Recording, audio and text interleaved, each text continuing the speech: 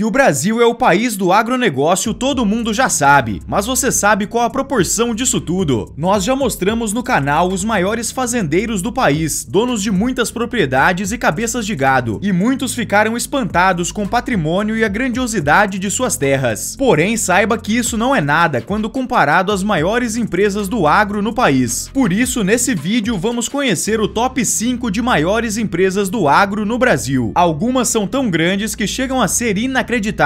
Então já deixe seu gostei no vídeo, se inscreva no canal e vamos lá!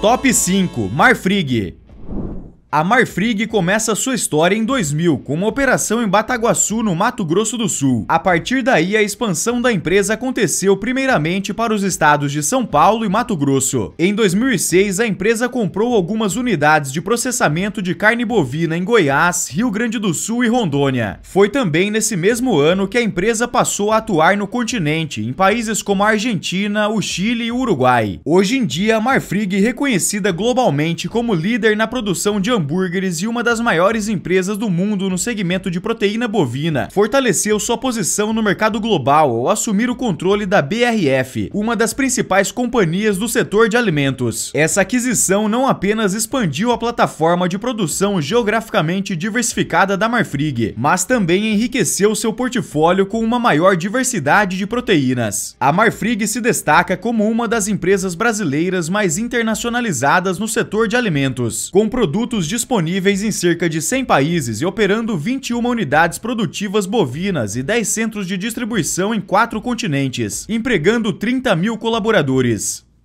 Top 4 Cosan a família Ometo, composta por imigrantes italianos e outros membros já nascidos no Brasil, trabalhava em uma lavoura de café na região de Amparo, interior de São Paulo. Após alguns anos, a família conseguiu comprar uma pequena fazenda de café e se fixou na região de Piracicaba. Os Ometo negociaram a compra da fazenda Boa Vista, onde estabeleceram a usina Costa Pinto em 1936. Nas décadas seguintes, a família expandiu o negócio e montou várias usinas em diferentes locais, sempre buscando buscando terras boas e climas favoráveis. Ao longo dos anos, a empresa se expandiu significativamente, alcançando a posição de maior produtora mundial de açúcar e álcool em 1989. Hoje, a Cosan se consolida como uma das principais empresas de agroenergia do Brasil, com um portfólio diversificado que inclui a produção e exportação de etanol e açúcar. Uma parte crucial de sua operação envolve a geração de energia a partir do bagaço da cana, uma prática sustentável que contribui para o setor setor energético do país. Sob a liderança de Luiz Henrique Caos, a Cosan registrou uma receita de 162 bilhões de reais em 2022. Atualmente, a empresa abarca um conglomerado de 22 empresas, com operações que vão além da produção de açúcar e álcool, incluindo logística de açúcar e outros granéis sólidos destinados à exportação. Recentemente, a Cosan ampliou sua estratégia de investimentos, marcando sua presença no mercado imobiliário agrícola brasileiro por meio de participação participações em empresas de gestão ativa de propriedades agrícolas, como Radar, Telos e Janos Brasil. Esses investimentos reforçam o compromisso da COSAN com a diversificação e inovação dentro do setor agrícola brasileiro.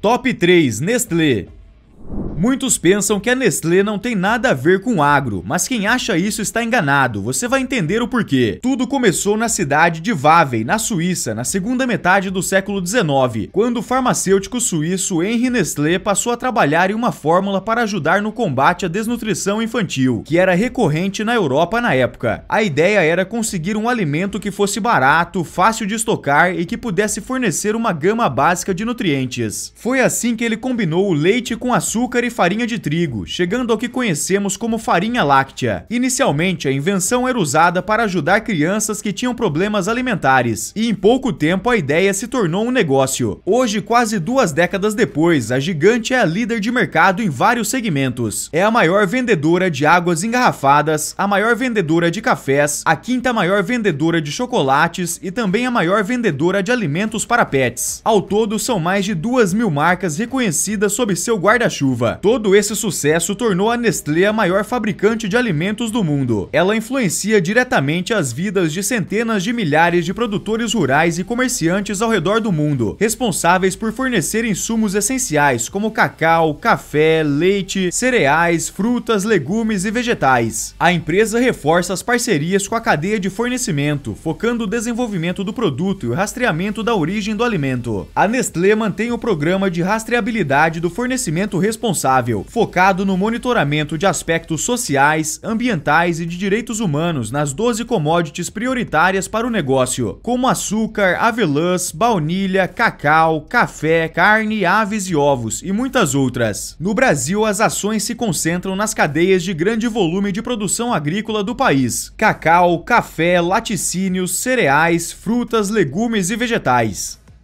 Top 2 Raizen a Raizen é uma empresa integrada de energia de origem brasileira, com presença nos setores de produção de açúcar e etanol, distribuição de combustíveis, geração de energia renovável e lubrificantes. Seu nome é formado pela união das palavras raiz e energia. Principal empresa no setor sucroalcooleiro do país, sendo a maior fabricante de etanol de cana-de-açúcar do Brasil e maior exportadora individual de açúcar de cana no mercado internacional. Suas atividades abrangem todas as diferentes etapas de produção, como o cultivo cultivo da cana-de-açúcar, fabricação de açúcar e etanol, congeração de energia, logística, transporte, distribuição, exportação e varejo de combustíveis por meio dos postos de serviço e lojas de conveniência que atuam sob a marca Shell no Brasil, na Argentina e no Paraguai. A Raizen foi criada a partir da união de partes dos negócios da Shell e da Cosan. As unidades da Cosan responsáveis pelas atividades de produção de açúcar e etanol e congeração de energia foram integradas na nova empresa. A Raizen é responsável responsável pela produção de cerca de 3.500 milhões de litros de etanol de cana-de-açúcar por ano, destinados ao mercado interno e externo. A Raizen emprega mais de 40 mil funcionários e tem escritórios administrativos espalhados em todo o Brasil e recentemente na Argentina.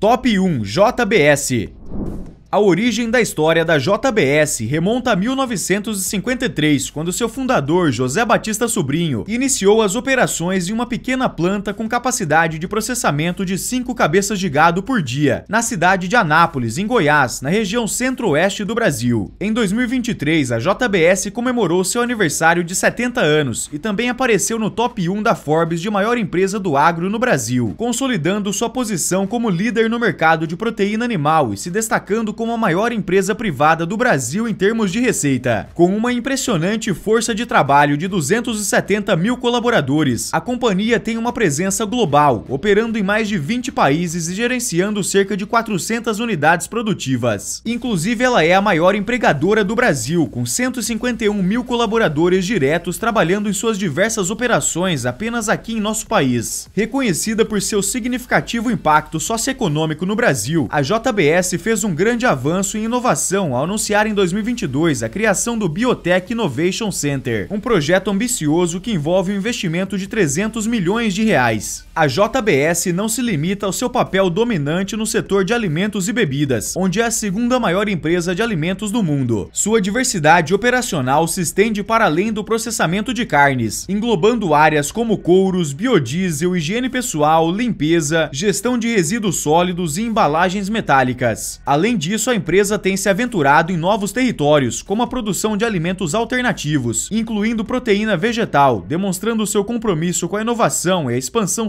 sustentável no setor.